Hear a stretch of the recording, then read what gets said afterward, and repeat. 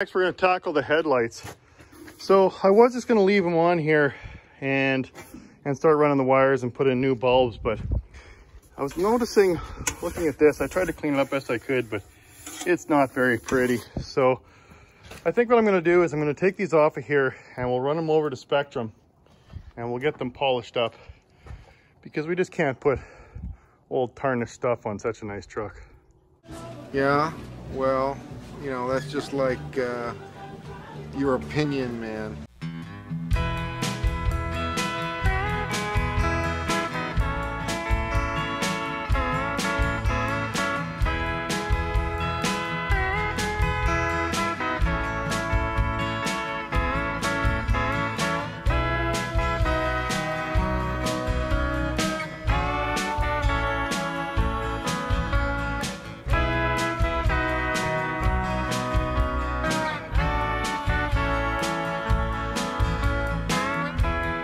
It's uh, it's another Saturday. I'm, I'm working outside. It's still dark out. I, uh, I need lights to see what I'm doing and and it's uh, supposed to be minus 20 this afternoon.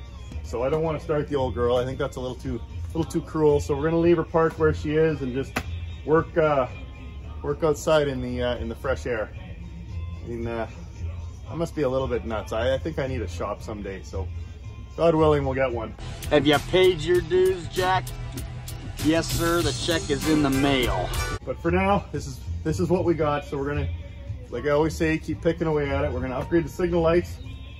Uh, the the lights I still don't have back from the uh, the polisher yet, the buckets. So what we'll do is we'll at least run the wires, terminate everything. I can make sure that uh, that the bulbs work and everything's ready to go. So when I do get them finished up, we'll slap them on the truck and we can call that a day. So still lots to do in this episode. So let's get at her.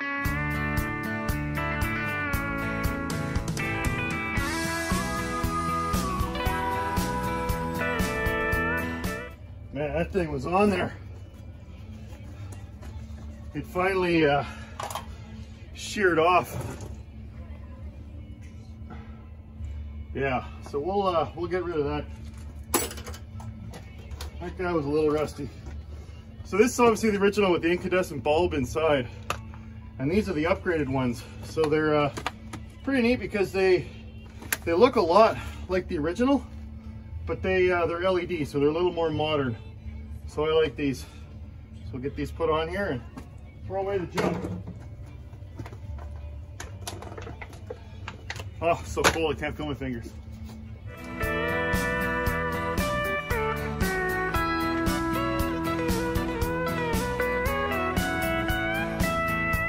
now what I'm trying to do is figure out a couple things. Figure out, this is the uh, the box where I terminated all the uh, all the signal lights and the headlights last year. And what I've noticed is I've lost my, my clearance lights on the air cleaner. So something's going on there, but the, the roof lights still work. So now I'm just gonna test out and figure out what's going on. So what I like to do for testing is I bought a spare, a spare light.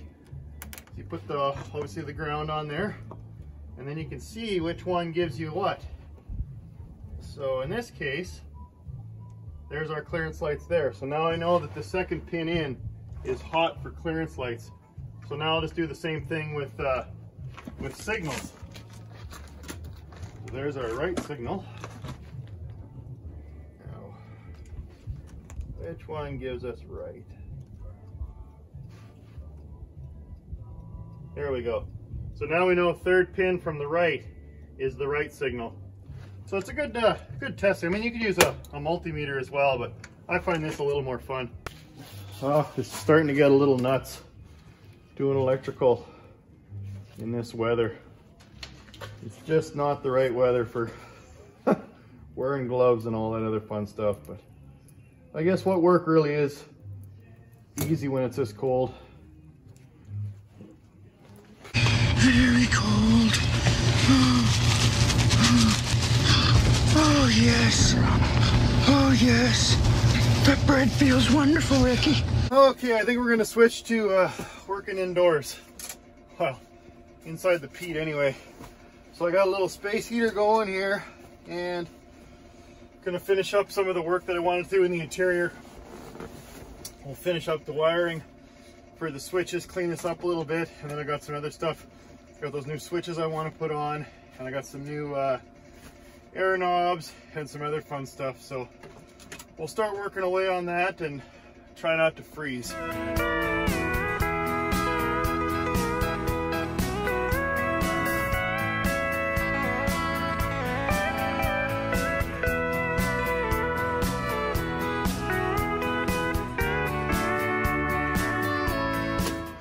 So I'm just installing these uh, switches that I got off that that Pete cab and that on the hunt episode. It's funny because the, the load light, well actually that one's better. This one's kind of worn off, so we'll swap that one out. And then I, I really like this one. Not that this truck has ether, but I just think that's cool. This is a dead hole. The original owner, uh, the guy I bought it off of, he had this wired up for the Jake brake, but of course I added the Jake brake switch there. But it looks like he uh, he cut his own hole here. And the problem is it's a little, it's a little too big. So I'm, I might have to figure out a way to keep that in there. But I think that'll be cool. Just because we love ether so much up here in Canada. Oh, yeah. Okay, time to put on some fancy stuff. So I got these glitter balls from a fan, Jack in New Jersey. Thanks, Jack. I got these, oh my goodness, back way back before summer, back in June, I think.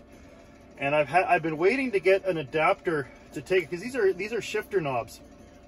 So they've got threaded inserts, and they're designed for uh, for shifters, not to go on the smooth stubs of the air valves. So I bought, I, I, finally found some on the internet and I, I could, just couldn't make them work because uh, the threads were too big and I couldn't get the inserts out of here and I was worried I was going to break the, uh, break the ball. So I ended up making my own. I just got some tube material and drilled it out and I had to, to turn it down a little bit. Well, I don't have a lathe. I just got a emery cloth and a grinder, but I got it small enough to where I could get them in there and then I JB welded them in there. So I, am pretty sure they're not going to come out. So they were kind of a, a custom built jobby here, but I think they're going to look just fabulous. Check that out. So that's our, that's our brakes. This is our trailer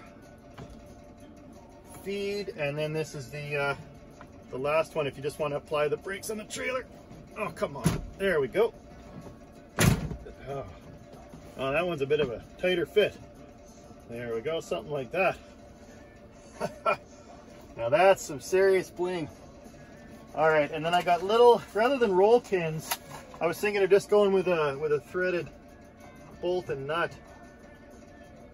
Because it was gonna just be too tough to try and get the uh, the roll pin in there. So something like that, and then just put the little nut on there. I think that's a nice touch. So thanks again, Jack. Your donation is now officially apart a little by little. There you go. So in and out. Okay, and next, uh, another fan reached out to me. He really wanted, uh, well, he noticed that I switched to orange on these. And uh, this was actually the original ball that Jack bought me that I just threw on here. And then I had to order another orange one. And then this, I had a blue shifter on here, kind of turquoisey color. And if you remember the original On the Hunt episode, episode one, where I went with my daughter and looked at that old minty Kenworth, because it actually was mint. Um, this, the guy that bought that truck, he had this, this was on the uh, the power tower, so the, uh, for to activate the winch. And he wanted a blue one, so he reached out to me and said, would you trade straight up? So we traded for that, so now I got an orange T-handle. And then once I was driving around in one of the videos, one of the fans said, well, you need you can't have blue glitter uh, uh, switch uh, deals. So he said, I'll trade you the blue ones for I've got some orange ones. So he traded me a bunch of orange ones, which I think are just gonna be great. So we'll put those on there now. I've been waiting quite a while to put these on. I wanted to sort out all the lights and all that before I put these on there because I didn't want them to break.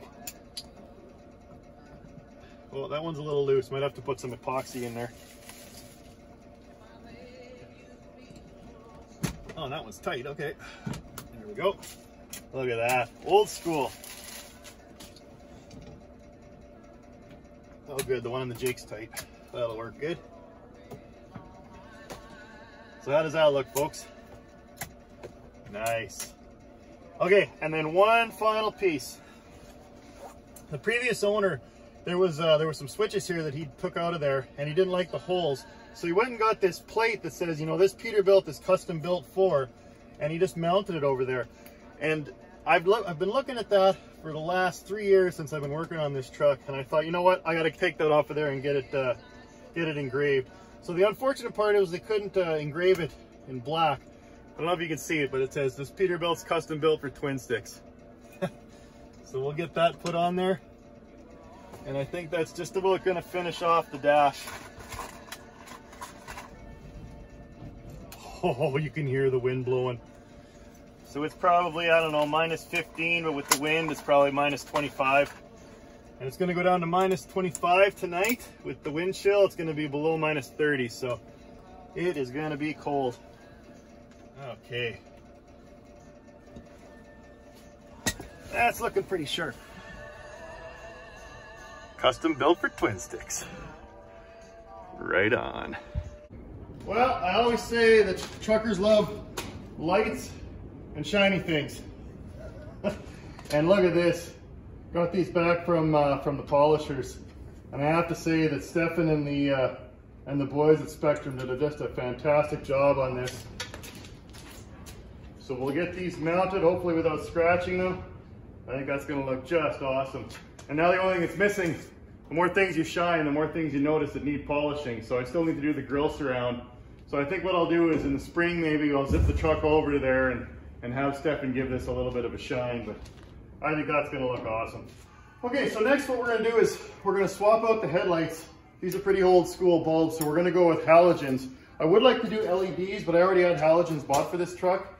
So what I might do is put them on here for now and then uh, flip them over to Project Snowman and then put LEDs on. But I think it'll work just fine for now. Obviously got to put on these uh, these nice chrome wire looms to just mount quick to the bulbs and then run through the, the hood here and then get wired in. And then uh, I was talking to the, the guys at the polish shop there and they mentioned that they did the best they could. This is the original chrome ring, but it's just been uh, hit with rocks through the years and just couldn't get it perfect. So I ended up getting new headlight bezels, so I'll mount those on there. And uh, I wanted to show you, so the outers are the low beams, there's three wires, and the, uh, the high beams are having both bulbs going. So if you just, obviously grounds your uh, white. So one circuit is the, is the outer, so that'd be your low beam. And then the other circuit, which would be the, uh, the middle, the red wire, it uh, lights them both up. So that's how the low and high beam works. All right, let's get at it.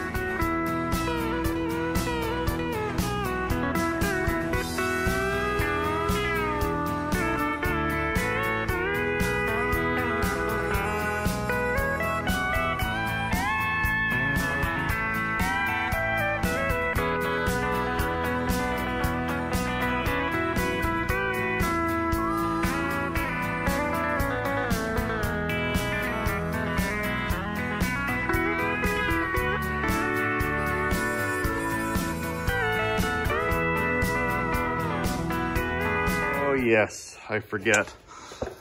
The last time I did this on the, uh, the other set of headlight buckets I had, they're not designed for these newer bulbs that go deeper with this connector. So I had to hole saw out a gap on both sides to let this fit through. Oh, fun. Plus I should probably give a little bit of paint to this rusty metal here and clean this up. Oh, what I thought was gonna be a 10 minute job is now a good hour. Great.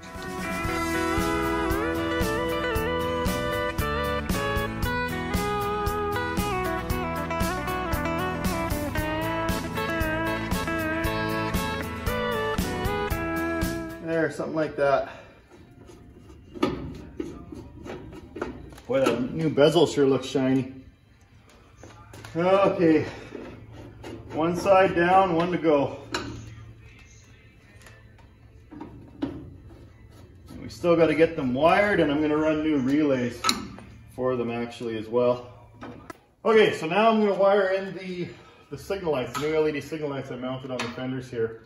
So I'm just running some more loom. Now originally they had it through a little metal tube that would be tucked up against the fender here. Oh, this one must have got bent a little something like that. and that would hold the wiring tight and snug. So I don't know if I'm gonna reuse that or just run loom. But I was looking at this, I always thought this was a clearance light, but in mine it's just a reflector. I could have swore that uh, the, the Easy Rider put new ones on from Dirks and they were actually clearance lights. So I'll have to see if I can get this upgraded. Maybe this was just a cheaper version with just the uh, just the reflector.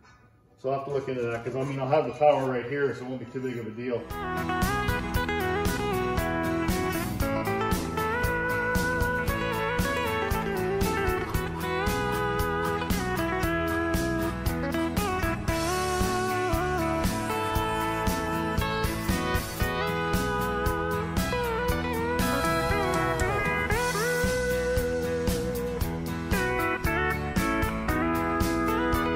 Okay, so I finally finished up all the wiring and the loom to the, uh, the front signal lights and the front headlights. And we brought it all into our junction box. And of course, you need to still terminate and put a little rings on the end.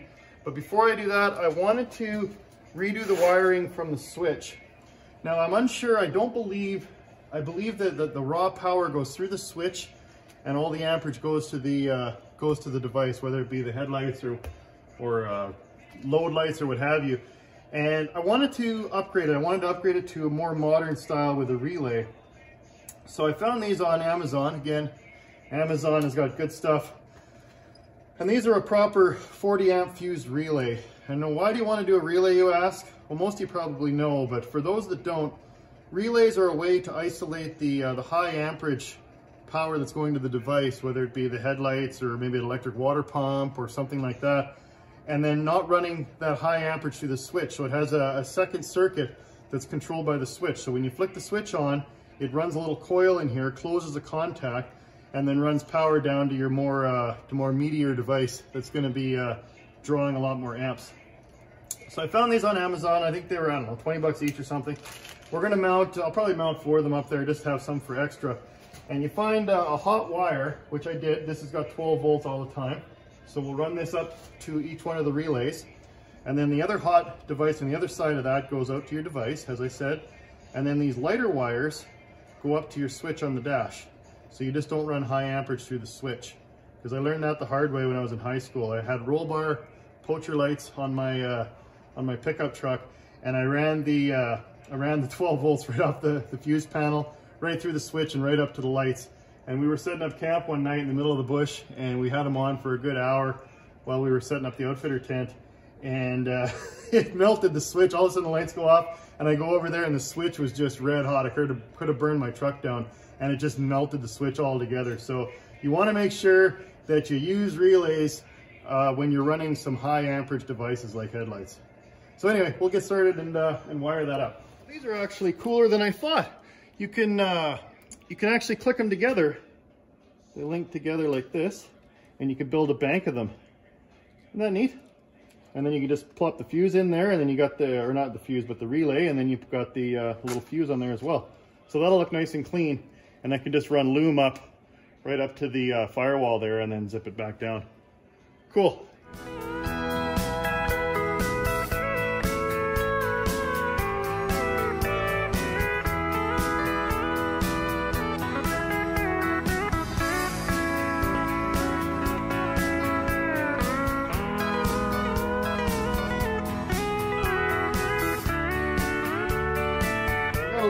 Diagram off the internet there. So essentially power uh, or from the alternator, either from the battery or the alternator, goes through a fuse line. So you can put an inline fuse, but in this case, we already have fuses. So we don't need to worry about that. So power for the, uh, for again, we're gonna do two, two circuits, one for the low beam, one for the high beam. So we're gonna use two relays up, uh, one for each. So I don't need uh, inline fuses because I've already got fuses uh, integral to the relay. So pin 30 is our power coming in. So that's this guy that I put together. So we'll run the power into all the, uh, in this case, that's the blue one, which is surprising. I think it'd be red. But then, uh, so the power out, the output to the device is 87. So there's four pins on here, 30, 87, uh, 85, and 86. So 30 is power in, which will be the blue wire, and then uh, 87 is out. So that's the circuit that has the, uh, that can take the amperage. And then the other two pins go up to the switch and just make continuity through the switch. So we'll go ahead and get started putting that together.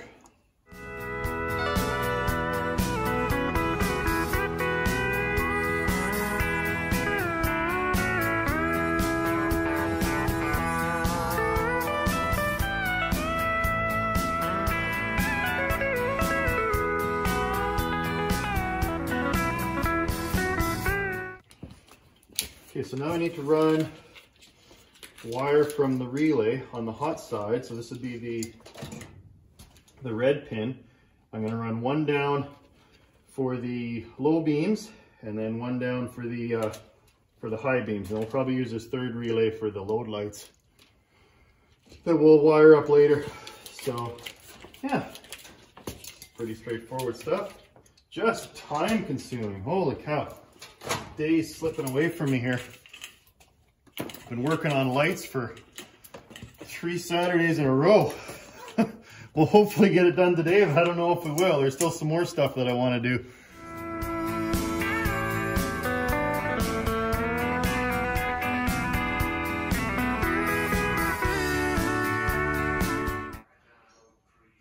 So it's put in place now. I screwed it snug to the firewall, and obviously we still need to loom this all together and zip tie it so it's clean. But now what I'm gonna do is take all these, these ends and put, uh, I'll solder little rings on the end, and then we'll be able to, uh, to terminate them at the, at the correct stump. And maybe we'll get lights, you never know. Got it all loomed, zip tied, and brought into here. So now I need to somehow sort out all this rat's nest and make it all fit inside this box. And then we should have lights.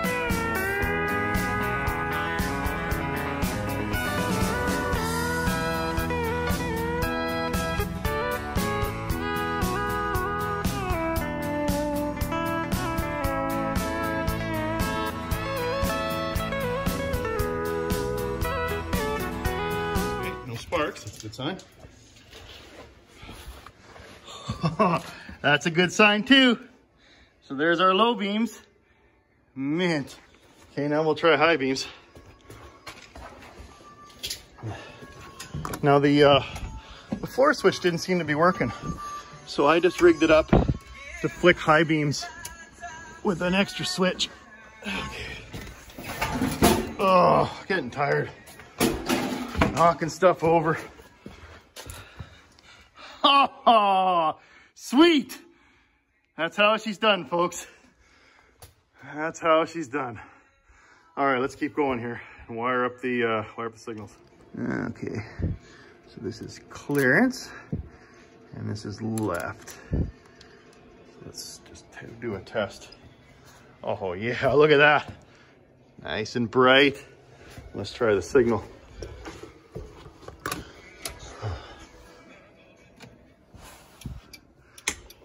Okay. awesome. It's funny, I would have thought both front and back would have lighted up on clearance, but I guess it's just the, uh, the signal on the back. Still seems kind of odd though. Uh, we'll do the other side. Uh, just to test. That's that, and that's right. Okay. Should be enough contact make it work. Okay.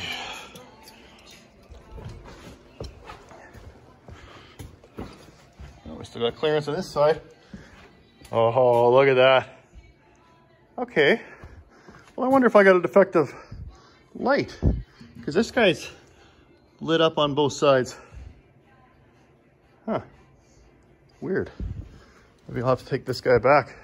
Looks like the back's burnt out. Oh, what a bummer that is. Oh well, at least it's wired correctly. So we'll tighten these up and put that cover plate on and see what else we can do before it, before it gets dark. So I've gotten all tightened up now. And uh, yeah, still only got half a light. It's blinking on both sides, but then as soon as I turn off the, uh, the signal light, the back goes out. And I wired it exactly the same as the other side. Yeah, so it's still buggered. Wonder if they'll give me a warranty on it. All right, put that cover plate on. Just about ready to go have a nice hot cup of tea and Jack Daniels, but I'm digging this. Getting lots of lights. uh, sorry, Grand General. I was thinking about it and I realized that I got the common flip with the signal. So when I uh, flip them back, they both work now. So Not a defective product. They make a good, uh, they make a good light. Just a defective electrician. Hey, put yourself down Al. You're not, uh, you're not, you're not good. You stink. So there you go. She's far from perfect, but uh, I say she just got a little bit better. Won't you shake hands, buddy, with a truck driving man? I run him from the coast to the southern land. Hit the Smoky Mountains, but I have no fear. Air brakes are screaming and I'm fighting with the gears. Got a load of freight out of New Orleans, trying to miss the scales into Tennessee.